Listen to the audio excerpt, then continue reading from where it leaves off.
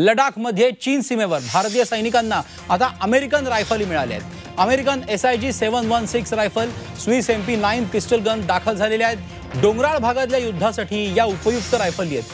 भारताची दीड लाख रायफलींची ऑर्डर आहे आणि त्यातल्या काही रायफली दाखल झाल्या आहेत आणि सैनिकांच्या हाती सुद्धा आल्या आहेत. भारत चीन सीमेवर भारतीय जवानांच्या हाती आता अधिक परिणामकारक असलेल्या अमेरिकन रायफली दिसणार आहेत.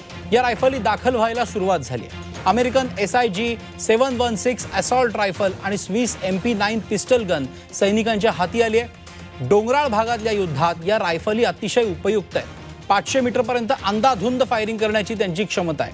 भारताने अशा दीड लाख रायफलींची ऑर्डर नोंदवली आहे. चीनशी संघर्ष सुरू झाल्यावर त्यातल्या काही रायफली तातडीने दाखल झाल्या आहेत. डाव्या आणि उजव्या अशा दोन्ही हातांनी या रायफली वापरता येतात ही त्यांची खासियत आहे आणि अतिशय परिणामकारक आणि पाचशे मीटरपर्यंत मारा करतील अशा या रायफली आहेत.